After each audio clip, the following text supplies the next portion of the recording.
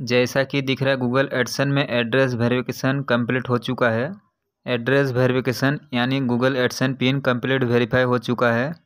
Google AdSense pin verify हो चुका है। अब यूट्यूब चैनल में बैंक अकाउंट को ऐड करना पड़ेगा। गाइस आज की इस वीडियो में यूट्यूब चैनल में बैंक अकाउंट को ऐड करने का सबसे आसान तरीका बताने वाला हूँ। गाइस वीडियो को लाइक करके चैनल को सब्सक्राइब करके रखिएगा।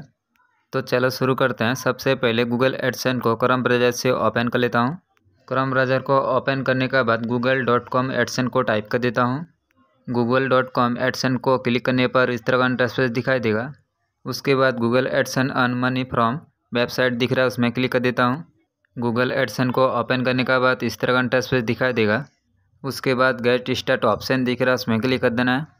गेट स्टार्ट में क्लिक करने पर इस तरह का इंटरफेस दिखाई देगा। मोबाइल में जो भी ईमेल आईडी ऐड रहेगा, दिख जाएगा, जैसा कि मेरा दिख रहा है।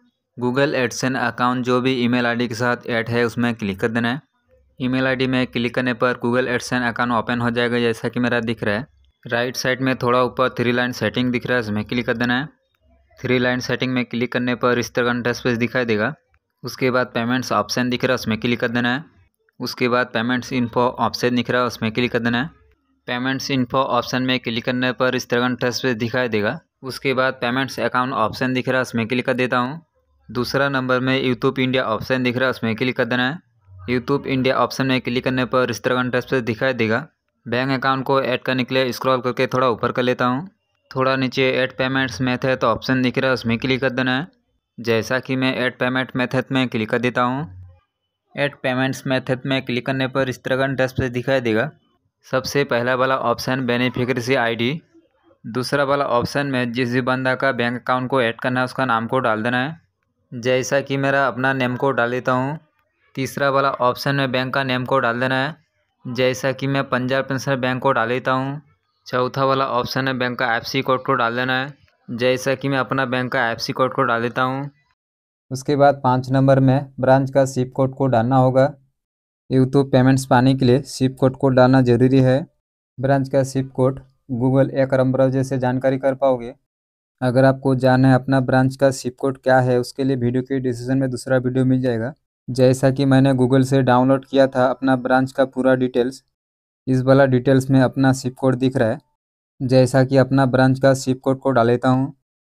उसके बाद छः नंबर में अपना अकाउंट नंबर को डाल देना। है जैसा कि मैं अपना अकाउंट नंबर को डाल देता हूँ, सात नंबर में भी सेम अकाउंट नंबर को डाल देना। है जैसा कि मैं डाल देता हूँ, जो भी अकाउंट्स का डिटेल्स को डाले हो, सही से चेक कर लेना है। थोड़ा नीचे टर्म कंडीशन को ऑन करके सेव बटन ऑप्शन दिख रहा है, उसमें क्लिक कर देना है। जैसा कि मैं सेव ऑप्शन में क्लिक कर देता हूँ। सेव ऑप्शन में क्लिक करने पर बैंक अकाउंट ऐड हो जाएगा। जैसा कि मेरा दिख रहा है बैंक अकाउंट ऐड हो चुका है। बैंक अकाउंट ऐड होने के बाद इस तरह का इंटरफेस दिखाई देगा। अगर आपको बाद में यूट्यूब चैनल में बैंक अकाउंट को चेंज करना है, थोड़ा नीचे मैनेज पेमेंट्स मेथड ऑप्शन दिख रहा है, उसमें क्लिक कर देना है। मैनेज पेमेंट मेथड में क्लिक करने पर इस तरह का इंटरफेस दिखाई देगा। थोड़ा नीचे रिमूव ऑप्शन दिख रहा है, उसमें क्लिक करके बैंक अकाउंट को चेंज कर पाओगे। नहीं तो ऐड पेमेंट मेथड ऑप्शन दिख रहा है, उसमें क्लिक करके बैंक अकाउंट को ऐड कर पाओगे। तो गाइस यूट्यूब का पेमेंट्स पाने के लिए बैंक अकाउंट को ऐड कैसे करते हैं, सबसे आसान तरीका जान चुके होंगे। गाइस इस वाला वीडियो में कुछ जानकारी मिला तो एक लाइक ज़रूर कीजिएगा।